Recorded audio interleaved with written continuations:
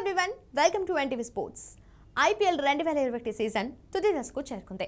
దాంతో తదుపరి సీజన్ కోసం జరిగే మెగా వేలంపై అందరి దృష్టి నెలకొంది. కొత్తగా రెండు జట్లు రానున్న నేపథ్యంలో ఈ ఏడాది డిసెంబర్లో మెగా వేలం నిర్వహించేందుకు బీసీసీఐ ప్రణాళికలు రచిస్తోంది. టీ ట్వంటీ ప్రపంచకప్ ముగిసిన కొద్ది రోజులకి వేలం జరగనుంది. ఇప్పటికే కొత్తగా రెండు జట్లు వస్తున్నట్లు స్పష్టం చేసిన బీసీసీఐ అందుకు కావలసిన కార్యాచరణను కూడా మొదలుపెట్టేసింది.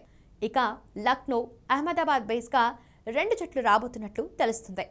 మెగా వేలానికి సంబంధించిన విధి విధానాలను ఇప్పటికే రూపొందించిన బీసీసీఐ అధికారికంగా ప్రకటించాల్సి ఉంది. మెగా వేలం నేపథ్యంలో ఆటగాళ్ళ రిటర్న్ పాలసీని కూడా రూపొందించి ఓ బ్లూ ప్రింట్ను సిద్ధం చేసింది దీని ప్రకారం ఫ్రాంచైజ్లకి గరిష్టంగా నలుగురు ఆటగాళ్ళని రిటర్న్ చేసుకునే వెసులుబాటు ఉంటుంది.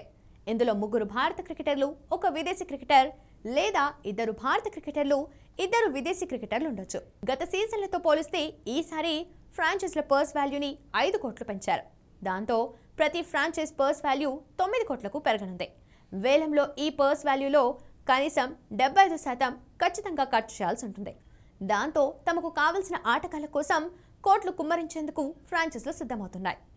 Australia విధ్వంసకర batsmen Sunrisers Hyderabad captain David Warner mega వేలంలోకి వచ్చే అవకాశాలు ఎక్కువగా ఉన్నాయి. ఐపీఎల్ రెండు వేల ఇరవై ఒకటి సీజన్లో దారుణంగా విఫలమైన వార్నర్ను సన్ రైజర్స్ హైదరాబాద్ వదులుకునే అవకాశాలు ఎక్కువగా కనిపిస్తున్నాయి. పైగా రిటర్న్ నిబంధనల మేరకు ఆ జట్టు విదేశీ కోటాలో కేన్ విలియమ్సన్ రషీద్ ఖాన్లను అట్టిపెట్టుకోనుంది ఆ లెక్కన చూసుకున్న వార్నర్కు ఉద్వాసన తప్పదు. ఇక డేవిడ్ వార్నర్ కనుక మెగా వేలంలోకి వస్తే Royal Challengers Bengaluru Rajasthan Royals Kolkata Knight రైడర్స్తో పాటు కొత్తగా వచ్చే రెండు ఫ్రాంచైజీలు కూడా అతని కోసం పోటీ పడనున్నాయి. సక్సెస్ఫుల్ కెప్టెన్ అయిన వార్నర్ ఈ జట్లకు చాలా ముఖ్యం.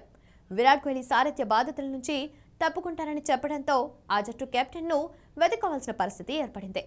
దాంతో వార్నర్ను తమ కెప్టెన్గా నియమించుకునేందుకు ఆర్సీబీ గట్టిగా ప్రయత్నించవచ్చు. వార్నర్ కోసం ఈ సీజన్ వేలంలో మ్యాక్సీకి ఉపయోగించిన స్ట్రాటజీని వాడనుంది.